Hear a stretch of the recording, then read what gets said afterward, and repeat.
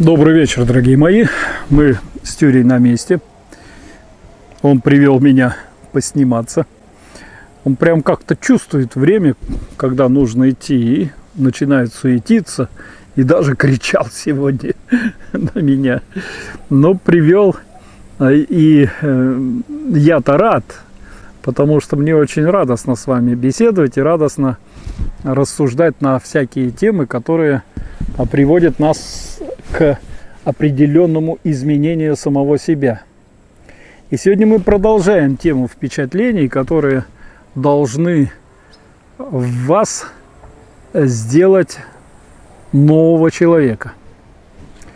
Но мы пришли к выводу, что то, что в вас уже есть, в общем-то, во-первых, никуда не денешь, это раз. А во-вторых, оно не такое уж и бессмысленное или плохое. То есть прямо так сказать, что вы всю жизнь прожили зря и набрались там каких-то э, знаний и каких-то впечатлений, которые э, вообще ни, ни к чему не годны. Нельзя, нельзя. Больше того, я вам скажу сейчас э, следующие Вот. Или раскрою маленькую тайну. У вас ведь ничего целостно вот в этих образах этих людей, этих событий, этих каких-то, значит, э, обстоятельств э, не существует в памяти. Не существует. У нас такая система мышления. Вы можете послушать и а, Черниговскую, или Василия Ключареск и многих других, которые вам рассказывают, что это иллюзия думать, что вот все в нас, вот каждая вот картинка, которую мы с вами проживали и каждое событие и сохраняется. На самом деле у нас другая система мышления. Она собирает из отрывочков из пазликов, которые у вас от этих событий остаются. Каждый раз событие по-новому, по-новому и совсем другое. И совсем другое. И это уже доказано. Это даже не какое-то, значит, э, такой, что ли, догадка или э, такое мировоззрение – и э, доказано потому, что, в общем-то, если оценить объем памяти, который у нас есть по сравнению с компьютерным, то вот там как бы ученые установили, что он э, всего составляет ну, примерно 10 гигабайт. Да, теперь ученые смеются, потому что у нас в, теле... в телефоне сейчас по 256 гигабайт, а у кого-то 500 80 у кого-то и, и терабайт на компьютере стоит. А наша память вот таким образом выглядит. То есть на самом деле она не такая уж вот как бы в а, рамках компьютерных вот таких а, что ли систем и большая. Но, но у нее есть гиппокамп, то есть вот оперативная система, которая по запросу ваших каких-то э, клеток, обозначенных языком, то есть языком у нас обозначены все, э, словами обозначены все наши с вами э, пункты памяти, она отзывается на этот призыв и формирует каждый раз вам новую картинку. То есть я вам могу сказать, ну мы уже к этому приставали, детский сад – и у вас сейчас много-много сразу собирается пазликов, бегает, значит, э, клетки и нервные сигналы, электрические сигналы по вашему мозгу и собирает все, что относится к детскому саду. Вот. А я скажу мой детский сад. Изменю вам задачу. И пук, тормоз. Все. Вы свой-то детский сад помните? А мой-то вы не знаете. Я чего-то рассказывал, но вы его представить не можете. Но тем не менее, вот сейчас пройдет 30 секунд, я специально их тяну, поскольку 30 секунд для полной картинки нужно, чтобы она собралась. Вот. И через 30 секунд вы мне можете сказать, какой мой детский сад. У каждого в голове уже он сложился, хотя он и не похож на тот, в котором я был. У кого-то это такое же здание, как было у вас, у кого-то такое же, как был у вашего там сына или внука, а у кого-то просто собрана куча такая. Вот мы же знаем, что детский сад это что-то такое должно быть. И оно собралось, и вы теперь знаете, какой мой детский сад. Но у каждого он свой. Вот то же самое совершенно происходит и с событиями, и с людьми, которые в вас находятся.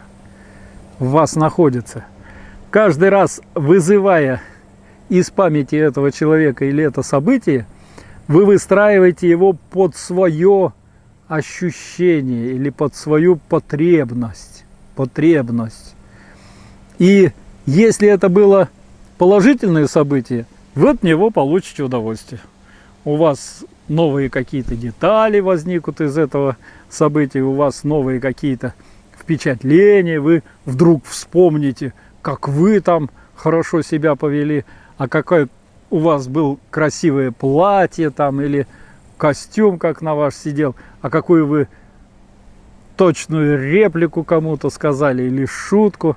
Ну, а кто-то и даже в нос кому-то дал и доволен, как говорят здесь по-русски. Значит, что же это за свадьба, если не подрались? А, что, что за свадьба без драки?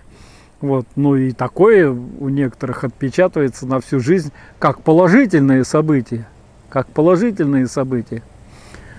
Но если в нос дали вам, и дал еще и ваш соперник, то вы каждый раз, вытаскивая это событие к себе из памяти в сознании, то есть вы, начиная осознавать его, вы каждый раз его вытащите в отрицательном варианте. То есть и будете злиться на этого, и будете проклинать этого, и будете его считать паразитом там и кем хочешь, вот, потому что он дал вам в нос, или еще хуже там, увел вашего жениха, вот, вот в какой-то момент увела подружка. Вот вы пришли к ней со своим женихом, а она повертела перед ним хвостом, да? Вот. У нее платье было лучше, вы скажете. У нее макияж там был французский, поэтому он на нее клюнул. Она там декольте выставила. И всячески вы ее будете э, хаять всячески будете э, ее в своем сознании обливать, ну, будем, давайте скажем так, обливать грязью. Но в жизни было все не так. И в жизни тот, кто вам дал в нос, или та, кто у вас увела жениха, совсем по-другому оценивает эти события. А жених, который ушел с подругой, он уже и, и, и по третьему видит, он думает, что это я связался с этой, вот, вот хорошая попалась, вот, с этой будет лучше, и так далее, и так далее, дорогие. И получается, что события, которые в нас есть, в нашем сознании, в нашей памяти, это наша фантазия, это наша картинка, которую мы с вами выстраиваем каждый раз, вспоминая по-разному. По-разному. Но, к сожалению, выстраиваем под свою потребность. И что же предлагается в данном случае для того, чтобы изменить себя, чтобы свое мировоззрение изменить, чтобы перейти к э, формированию в себе жители Царствия Небесного. Ну, вы уже, наверное, догадались. Нужно события вспоминать по-новому, по-другому. чтобы эти события приносили вам радость, приносили вам чистоту, приносили вам какую-то... Ну, как это можно сделать? Ну, сказать, о, ну и слава Богу, что он ушел к ней. Вот. Теперь вон они как. ну, мы, как правило, я знаю, что после ищут, как они там несчастливо живут. Вот если бы с ней жил, она бы вот так, а не, так, не так. Вот. Нет, конечно, то, что раздражает, то, что приводит вас к греховным чувствам, то есть к раздражению, к гневу, к обиде и так далее. Вообще, конечно, лучше бы гнать, гнать от себя. Причем опять, если мы э, послушаем ученых, гнать-то не трудно, просто не вызывать эти воспоминания, не получать вновь и вновь эти картинки, не ждать, когда эти картинки вам некую такую радость принесут, а они каждый раз приносят радость. Каждый раз вы получаете либо от хорошей картинки, вытащив ее, награду, такой в виде э, определенных гормонов, дофамина, там, серотонина, либо успокоительные средства, эндорфин и другие внутренние наркотики, которые тоже вам принесут радость. Вот еще раз вспомнили, еще раз подрались, еще раз там, значит, в нос получили, еще раз жениха потеряли. Вот. И все, и, и вам идет изнутри такая успокоительная таблетка, что успокойся, все, все нормально, и вы облегченно как-то это. А не надо этого делать. Поэтому Господь сказал, неблагонадежен для Царствия Небесного оглядывающийся назад. Даже не так он сказал, оглядывающийся назад неблагонадежен для Царствия Небесного. То есть у нас на самом деле все наши воззрения, если мы хотим попасть в церковь, э, в Царство Небесное, они должны быть направлены вперед. Вперед они должны быть направлены на э, то осознание мира, которое является божественным мирозданием. И обсуждая это, э, Феофан Затворник говорит, что когда человек обожествляется, он забывает всю суету мира – для него все события мира становятся равнодушными.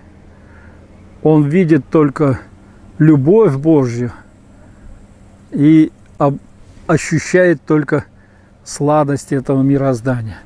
То есть на самом деле мир плохой, потому что вы внутри его таким сделали.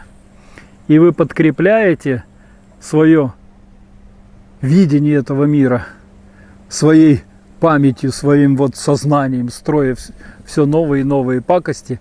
А когда их не хватает, хватаете за пульт телевизора и находите. Что ж там еще такого?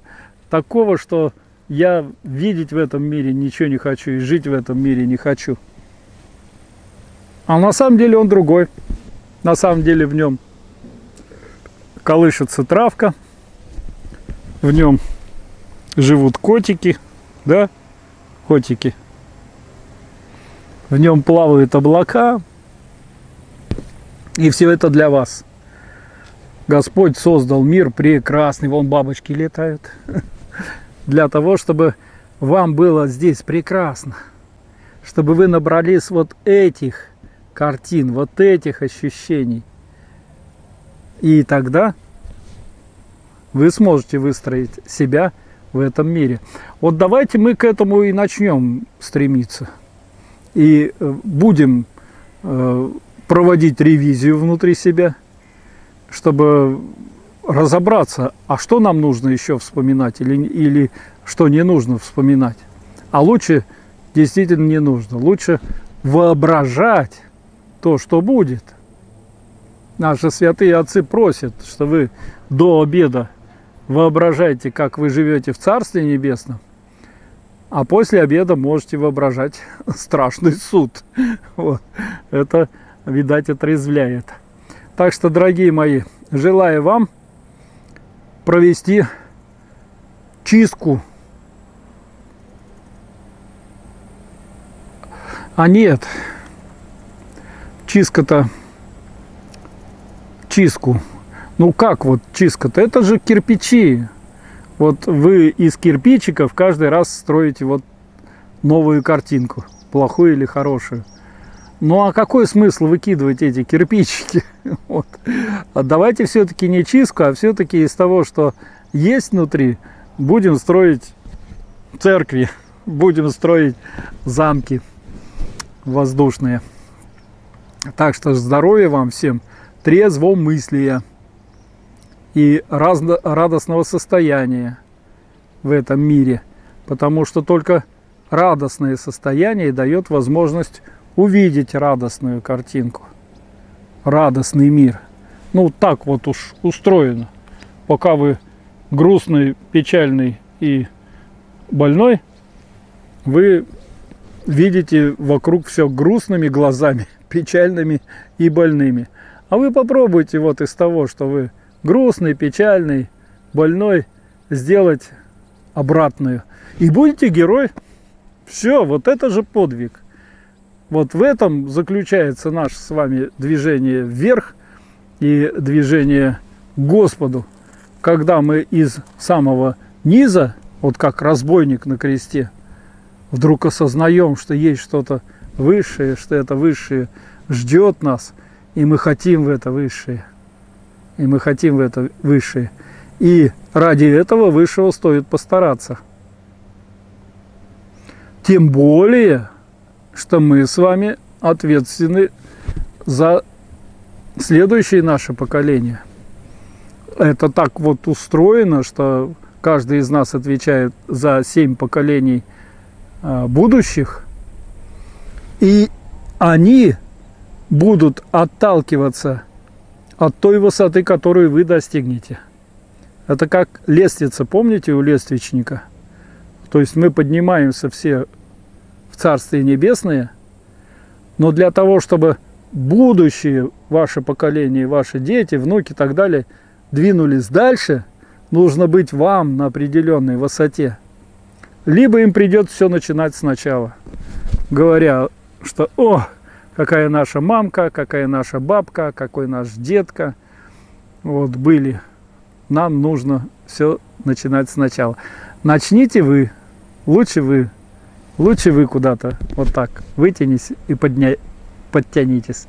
Но я дождался на последние слова солнышко, чтобы сказать вам еще раз радостно и весело. Будьте здоровы, будьте радостны. Amine.